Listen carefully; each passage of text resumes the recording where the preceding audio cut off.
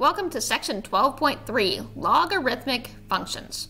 Hopefully by the end of this, you all will be able to convert between logarithmic and exponential form. You'll be able to solve logarithmic equations, you'll be able to evaluate logarithms, and you'll be able to graph logarithmic functions. So I know it's a lot of little things that we're going to be doing, um, but each one really is a little thing, and I know you guys can do this. So let's talk about log form and exponential form and how they're connected. Basically, logarithmic and exponential functions are inverses, which also means they're, they're kind of like opposite operations as well.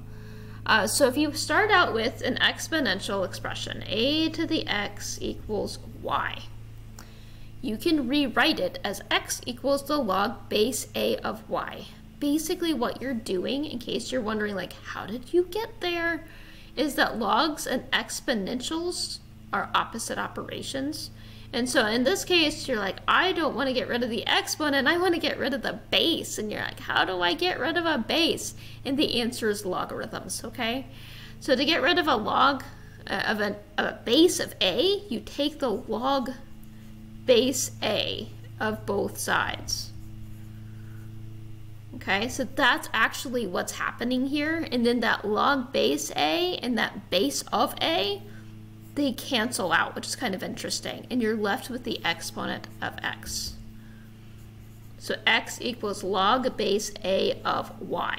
That's, so this is the exponential form, and this is the logarithmic form. Okay, and they are equivalent to each other. And if you guys are able to go back and forth between them, we're going to have a really, really great day today. Okay, so let's practice that. Example one is convert to logarithmic form. Okay, so we start out with 8 to the second power equals 64. So the base of your exponent is the same thing as the base of your logarithm. So what we're going to do is we're going to have a log base 8. Okay, so it's going to be the same as the base from our exponential but it's going to be of 64. And then it equals our exponent, which is 2. That's what logarithmic form looks like. Okay, what if I need to go backwards? What if I have it in log form, but I'd really like to be in exponential form? Okay, so I start out with the log base 5 of 125 equals 3. Well, the base of your logarithm is the same as the base if you were making it into an exponential. So we're going to have a base of 5. Whatever it equals over here, that's your exponent. So it's 5 to the third power, and then it equals 125.